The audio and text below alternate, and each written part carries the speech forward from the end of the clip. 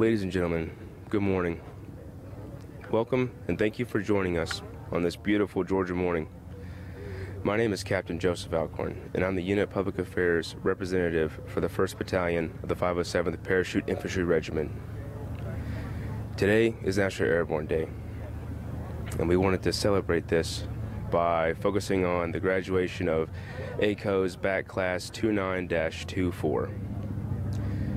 The Airborne School creates tens of thousands of paratroopers for the Department of Defense to conduct, conduct joint forcible entry entries across the world. So we wanted to focus on the situation here, and uh, we'll get it turned over to the company. And thank you for joining us again, uh, Fort Moore, the birthplace of the airborne.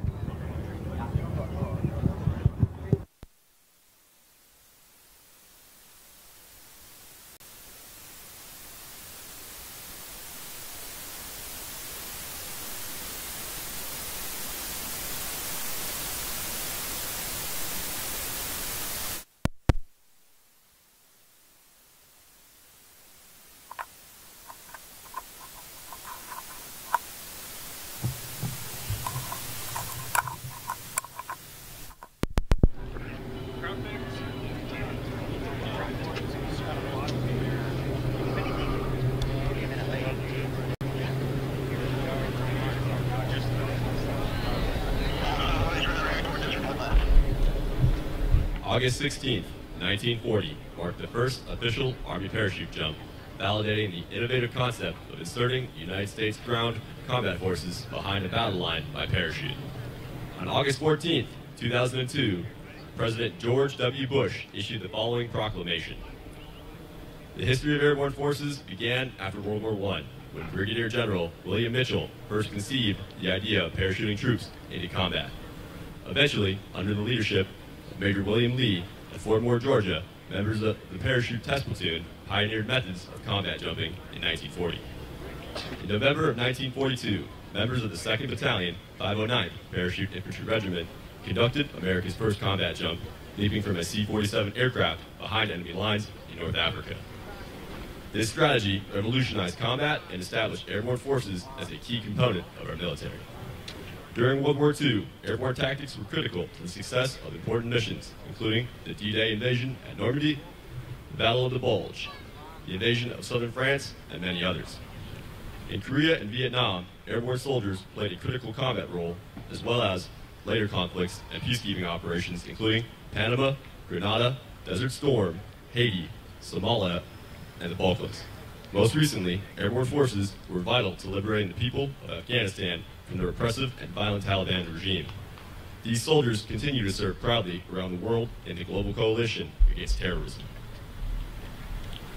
The elite airborne ranks include prestigious groups such as the 173rd Airborne Brigade Combat Team Sky Soldiers, 82nd Airborne Division All-American, and the Screaming Eagles of the 101st Airborne Division.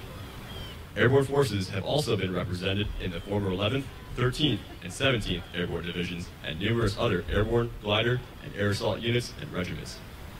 Paratroopers in the Army's 18th Airborne Corps, 75th Ranger Regiment, and other Special Forces units conduct swift and effective operations in defense of peace and freedom.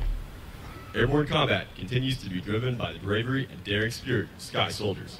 Often called into action with little notice, these forces have earned an enduring reputation for dedication, excellence, and honor. As we face the challenges of a new era, I encourage all people to recognize the contributions of these courageous soldiers to our nation and the world. Now, therefore, I, George W. Bush, President of the United States of America, by virtue of the authority vested in me by the Constitution and laws of the United States, do hereby proclaim August 16, 2002 as National Airborne Day. As we commemorate the first official Army parachute jump on August 16, 1940, I encourage all Americans to join me in honoring the thousands of soldiers, past and present, who have served in an airborne capacity. I call upon all citizens to observe this day with appropriate programs, ceremonies, and activities. In witness whereof I, hereunto, set my hand this 14th day of August in the year of our Lord, 2002, and of the independence of the United States of America, the 227th. Signed, George W. Bush.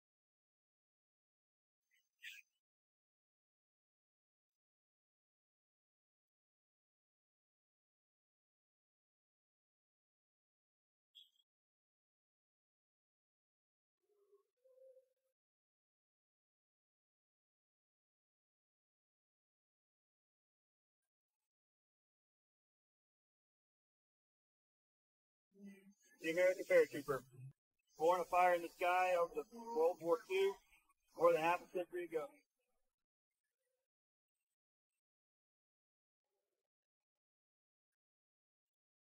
Good morning, ladies and gentlemen.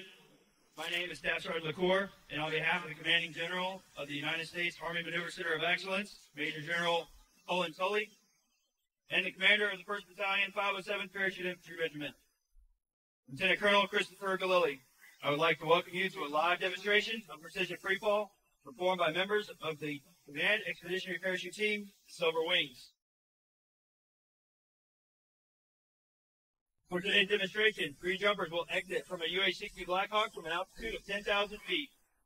All jumpers will exit with smoke and build a star formation while in freefall. If you will direct your attention skyward to the aircraft, the jumpers are just moments away from their exit point. At this time, the jumper is looking out of the door of the aircraft. Through a series of hand and arm signals, the jump master relays heading corrections to the pilot, maneuvering the aircraft to the exit point for the jumpers. Much closely, as you may see the nose of the aircraft move slightly left or right in response to the heading corrections.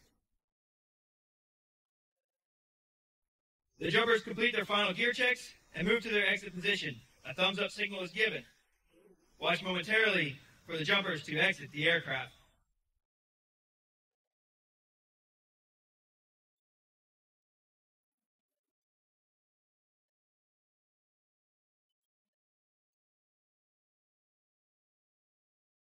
Ladies and gentlemen, the jumpers are just moments from their exit points. Once you see them exit, they're directly overhead. In just a moment, we should see some red smoke.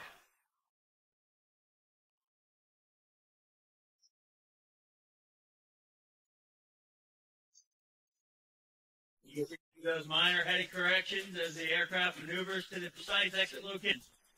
And there you have it, ladies and gentlemen. The jumpers are out and the smoke is on. The jumpers are now reaching speeds of up to 120 miles an hour and will maneuver their bodies to the formation by moving their arms and legs and shoulders. And there you have it, ladies and gentlemen, a star formation spinning toward the Earth. At a prearranged altitude, the jumpers will turn and track away from one another, creating a bomb burst effect. The jump master will then signal for all the jumpers to open their parachutes.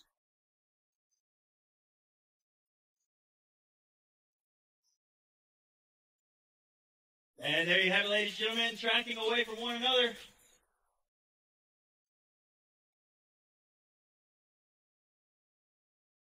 As they disappear behind the trees.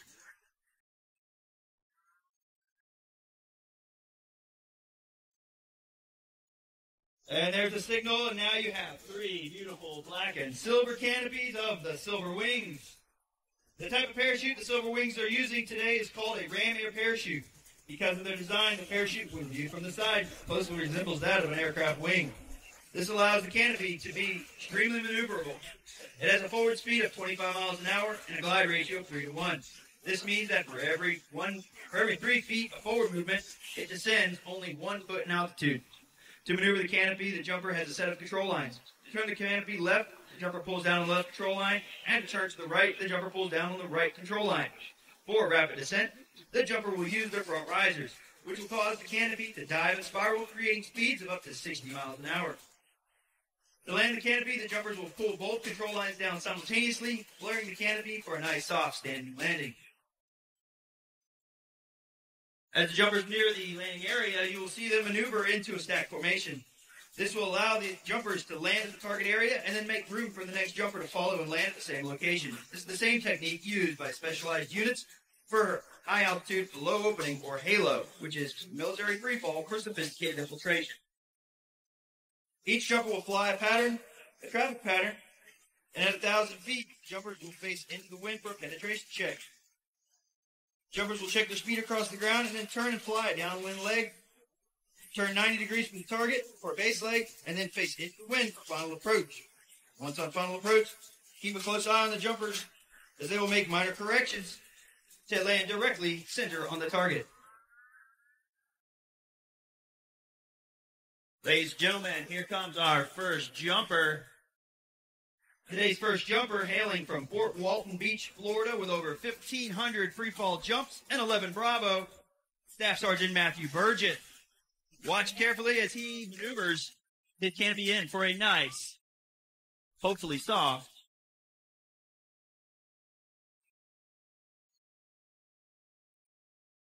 on target landing. Oh, hey, give him a hand. Our second jumper coming from Dominican Republic with over 800 free fall jumps. Sergeant First Class Ray Reynoso as he brings it in for a nice on target landing. And our third jumper today from Livermore, California with over 600 free fall jumps. Staff Sergeant Eric Wood. Let's give it, let's make some noise as he comes in. Come on, Eric. Let's see that nice, soft, on target landing. Oh, come on. Let's give it a good big, let's give a big hand of applause for our three jumpers today. Formed in 1965 by the director of the Airborne Department, the team can trace their origins back to 1985 as members of the Airborne Air Mobility Command. The mission of the Silver Wings is to represent the United States Army Maneuver Center of Excellence while demonstrating the free fall capabilities of today's airborne forces. Stationed at Fort Moore, Georgia, each member of the Silver Wings is a qualified parachutist and is assigned to the United States Army Maneuver Center of Excellence. In order to be accepted on the team, each member must have an outstanding military record, as well as the parachuting skills and experience necessary to perform demonstration jumps. Since their first jumps in August of 1965, Silver Wings have inspired countless airborne students, supported demonstrations in all 50 of the United States, as well as over a dozen foreign countries, and have been, have been ambassadors to the Airborne School, the United States Army, the Maneuver Center of Excellence, Fort Moore, and the United States Army. On behalf of the entire team, I would like to thank you for being such a warm and receptive audience. Airborne, all the way.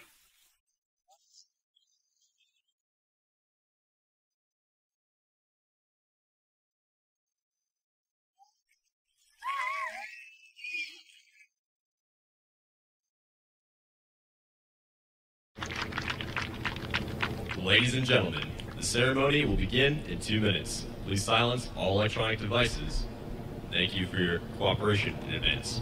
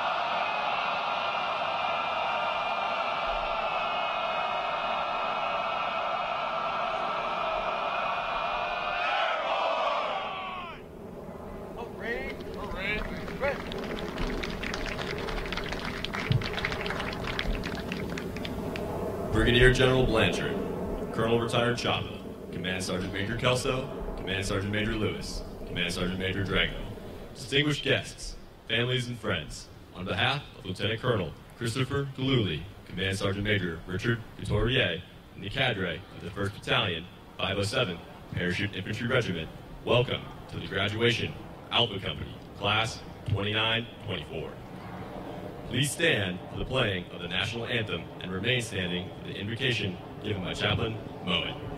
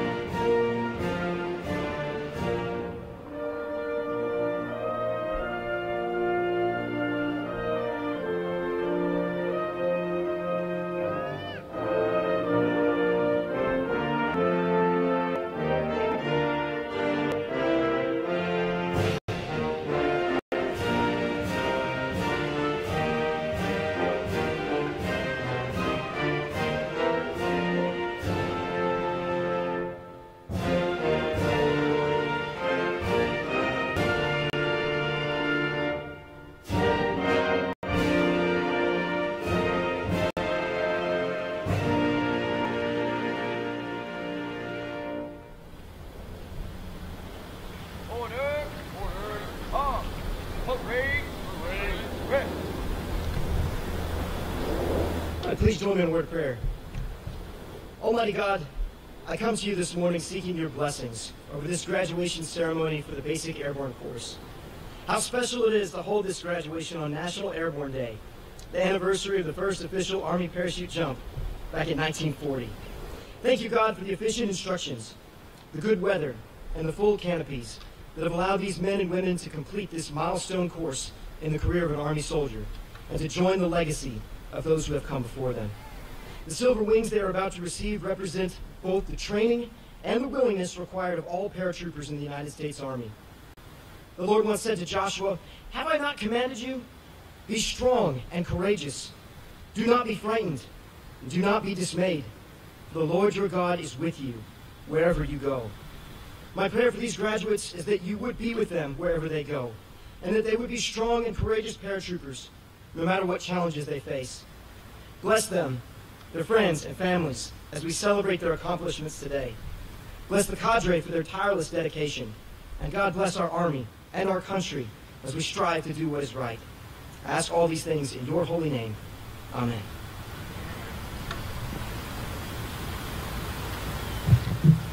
Please be seated. An American general by the name of Billy Mitchell first conceived of the idea to parachute troops into combat against a hostile force at the end of World War I. At the outbreak of World War II, Russian and German paratroopers spearheaded the assaults. The effectiveness of these troops startled the entire world, and there was no longer any doubt about the power and capabilities of these newly created instruments of war. In early August 1940, the United States prepared to enter the war and begin an all-out program to produce the American paratrooper. Today, students attending the Basic Airborne Course are volunteers, just as they were in 1940, and hail from the United States Army, Navy, Air Force, Marine Corps, as well as some allied countries. They must also be in good physical condition and meet physical fitness requirements since over 90% of the training is strenuous and involves repeated bodily contact with ground. Up to 425 students begin the course each week with one of the three basic airborne training companies. The trainers, also known as Black Hats, conduct the course in two phases. The first is a training phase, comprised of a ground and tower week, and consists of a series of progressive lectures coupled with practical work on the many apparatuses in the airborne course. Each of these apparatuses is designed to teach the students to properly exit an aircraft and perform a safe parachute landing fall. The second phase is a jump week, where each student applies skills learned the training phase to complete five qualifying static line parachute jumps from a high performance aircraft. The company started training three weeks ago. Today, the students standing before you are pronounced paratroopers. The low ratio of paratroopers throughout the Department of Defense indicates not only the difficulty of the airborne course, but also serves to clearly demonstrate the dedication to excellence, courage, and determination of those standing before you. You have every reason to be proud. Company, attention.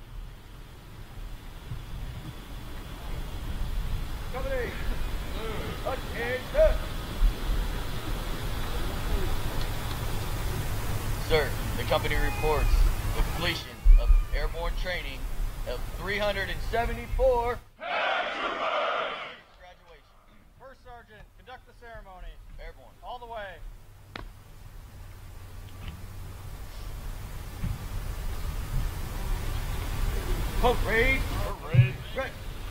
Ladies and gentlemen, it is our distinct privilege and honor to welcome our guest speaker for today's graduation, Colonel Retired Robert Chapa. Colonel Chapa has served in several operational and training units in the infantry slash maneuver, command and staff assignments at platoon, detachment, company, battalion, brigade, division, corps, and army level. Colonel Chapa has served in mechanized, light, airborne, ranger, Stryker, and long reconnaissance infantry in various worldwide assignments to include Canada, Mexico, South Central America, Europe, Africa, Asia, Australia, and the Arctic. Colonel Chapa has served as an infantry rifle platoon leader, ranger platoon company executive officer, company commander, battalion commander, brigade operations officer, brigade commander, chief of infantry, and the commandant of infantry. Good morning, everyone. Good morning, everyone.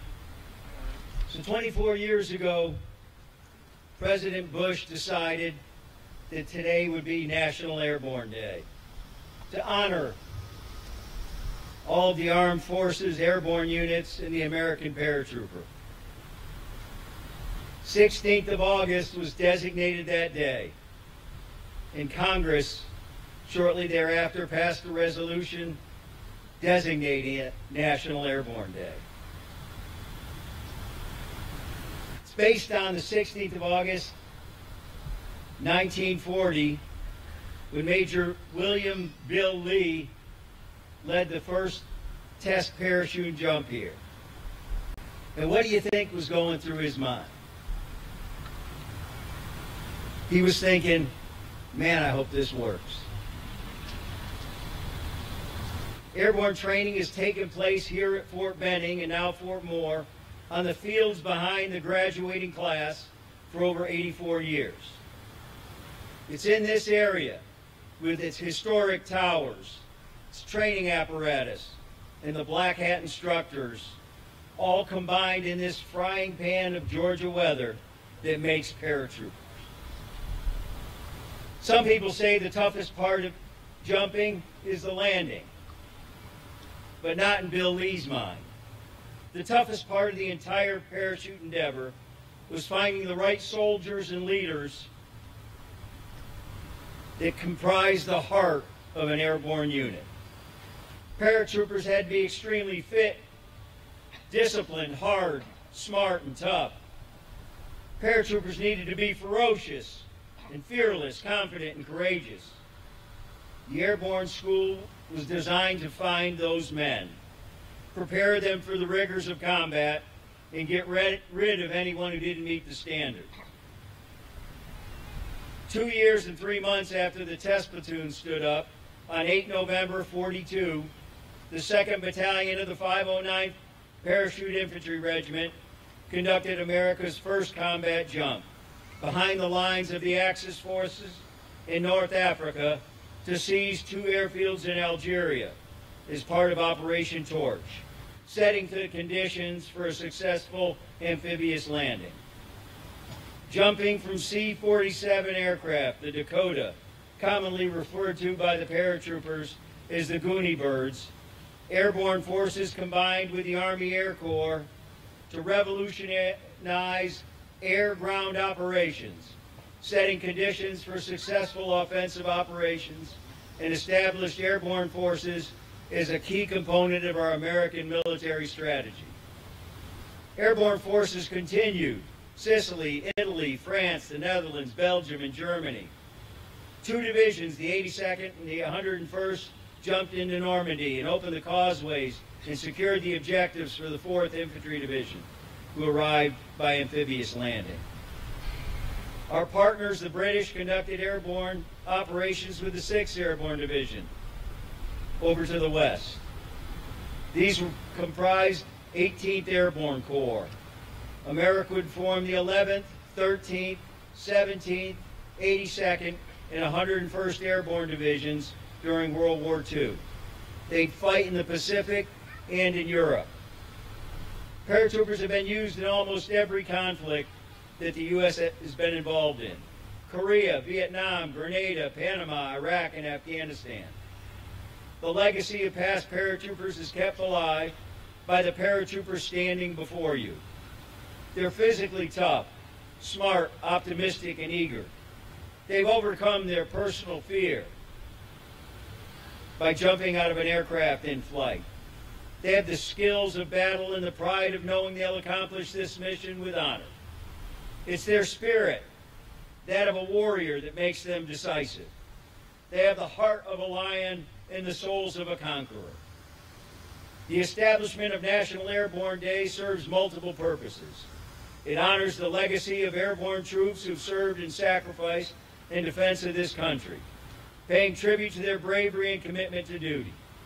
Secondly, it raises awareness about the importance of airborne operations in military history and contemporary warfare, this, highlighting the specialized training and skills required for airborne forces. Finally, it serves as a reminder of the camaraderie and esprit de corps shared among airborne forces, fostering a sense of pride and unity within the airborne community. Congratulations to all of you who are before me today and are about to have your wings pinned on. You're no longer officially a leg. You're airborne and a paratrooper. I'm proud that you'll keep you'll join me in wearing jump wings. My message to you is make a difference in everything you do and never quit. Keep the traditions and culture of the airborne in all you do. Always accomplish your mission. You make America proud. Thank you all for your attention all the way.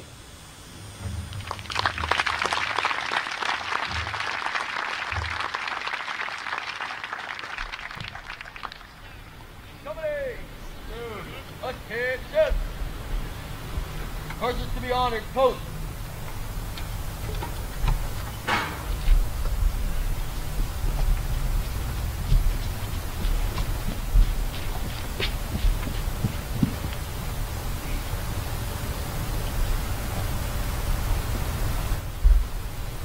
Parade, parade, red. At this time, selected members of Alpha Company will be recognized by the battalion command team. The first paratrooper to be recognized is the youngest member of the company, Keeper of the Wings. The Keeper of the Wings is Private Dayton Renz. He carried this set of wings throughout the three weeks of training as a symbol of the spirit in the company. His wings will be pinned by the battalion command team, accompanied by Colonel Choppa. The Airborne School selects an enlisted and officer honor graduate for each cycle. The honor graduates are selected for their attention to detail, self-discipline, physical fitness, and ability to master all training tasks. The honor graduates receive a plaque from the battalion commander. The enlisted honor graduate and recipient of the William Red King Award is Private Miku Torres. The officer honor graduate and recipient of the William T. Ryder Award is First Lieutenant Connor Kozad.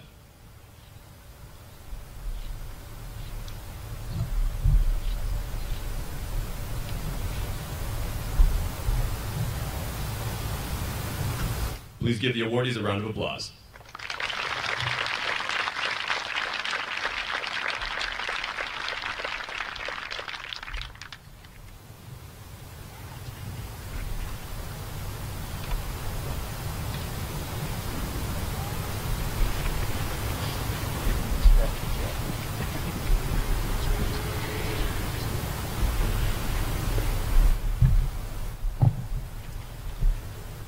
United States Army Airborne legacy began here in the summer of 1940.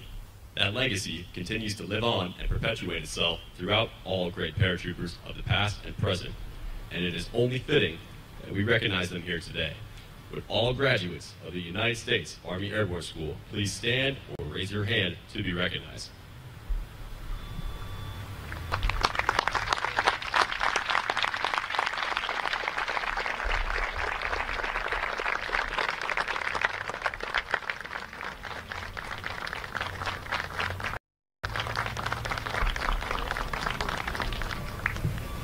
At this time, second, third, and fourth generation paratroopers move forward in front of the company commander.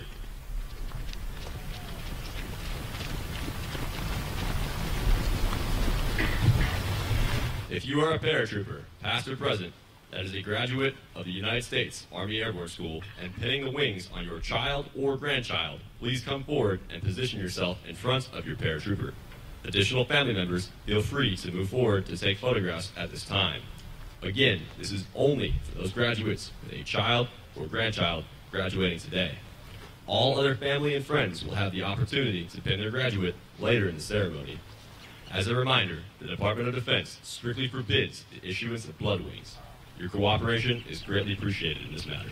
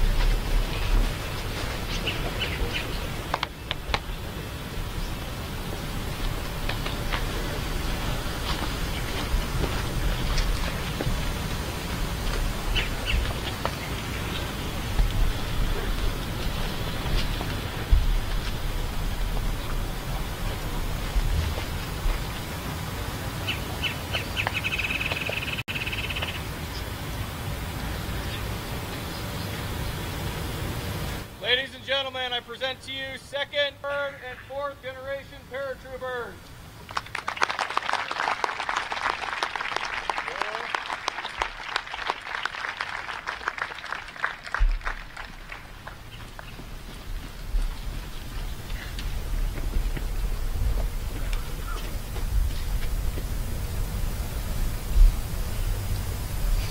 Company, Platoon.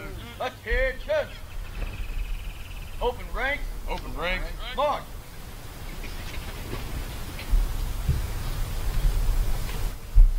First Sergeant, present the wings. Airborne. All the way. Platoon sergeant, present the wings. All the way. Ladies and gentlemen, the first sergeant has directed the instructors to present the wings. Feel free to move forward and pin the wings on your new paratrooper. Again, we ask for your cooperation in abiding by the Department of Defense's policy by not giving blood wings.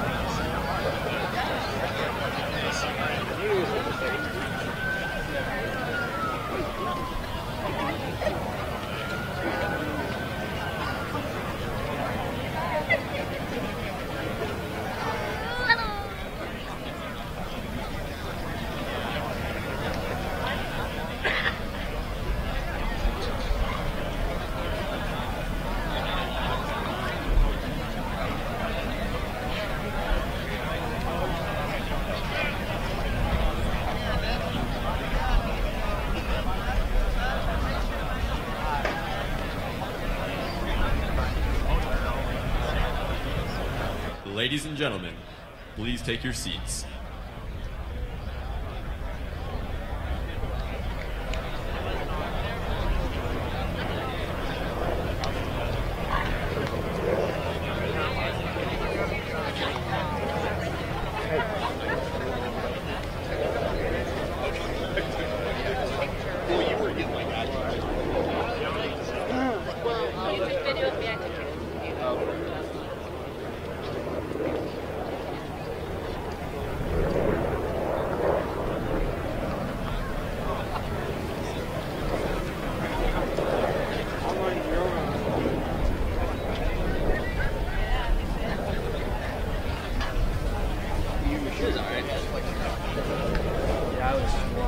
Really?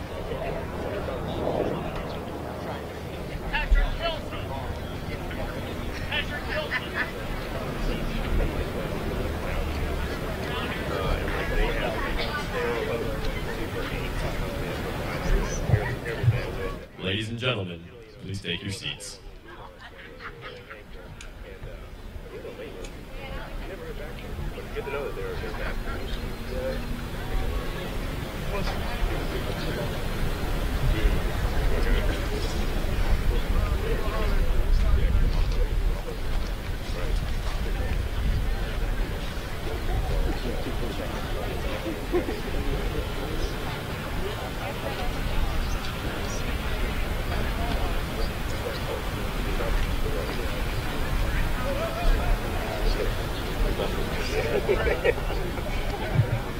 Ladies and gentlemen, please make your way back to your seats.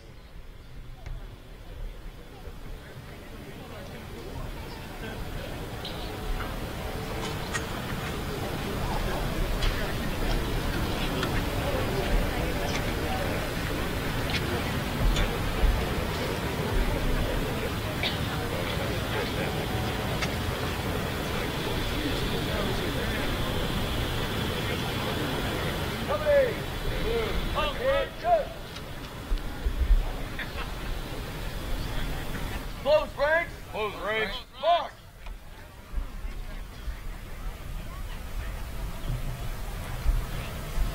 Please stand for the Airborne Creed and remain standing for the playing of the Army Song. The Airborne Creed.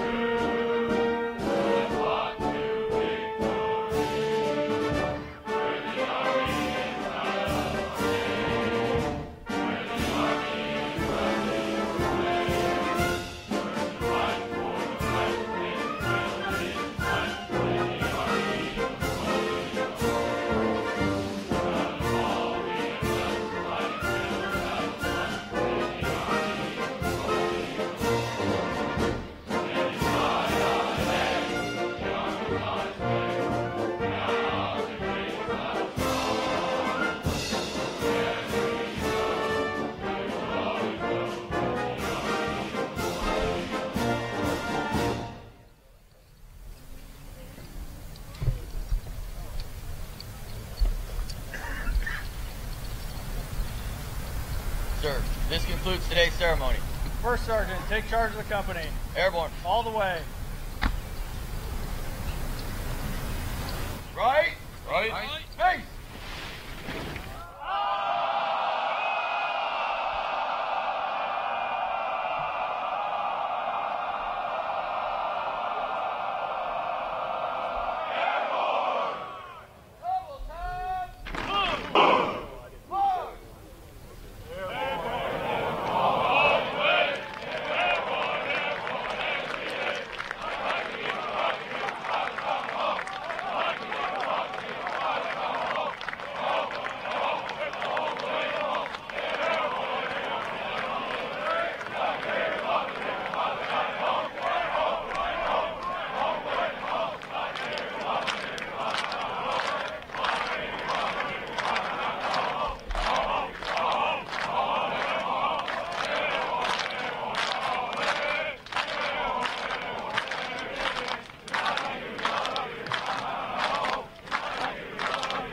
Ladies and gentlemen, this concludes this morning's graduation ceremony for Airborne Class 2924.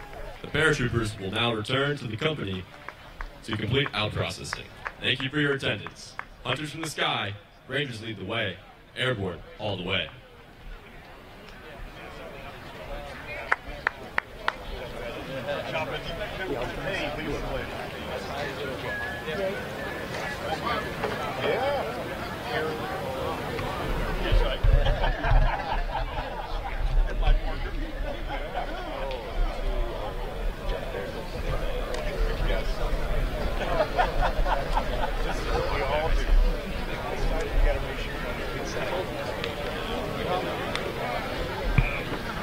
Hey, Seth. We're going to do some more. So please do not shut the feed down. Please do not shut the feed down.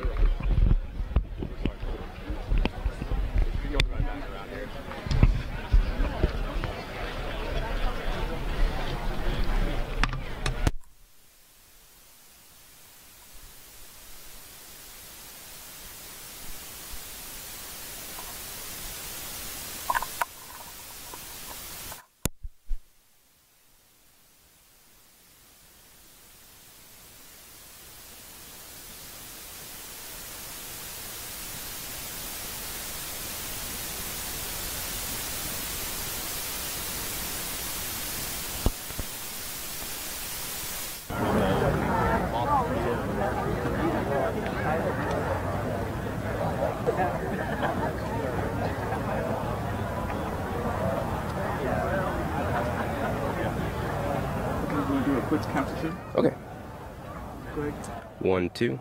One, two. Okay, let me, uh, see if I can get it close.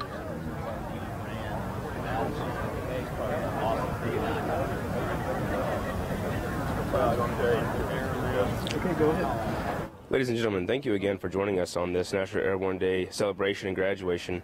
If you have questions about what you saw today or would like to know more, please visit go or your Facebook page at U.S. Army Airborne School. Uh, if you would like to join the Army, or someone you know would like to join the Army, or you think we have what it takes to join the proud and storied lineage of the airborne community, please visit goarmy.com. Now, if you want to stick around for a few extra minutes, we have a quick interview with the two distinguished honor graduates, Lieutenant Kozad and Private Torres, where we'll ask them a few questions. So I'll wave them over and we'll get it started. All right, you guys will catch that paper. Thank you. All right, you come over. here.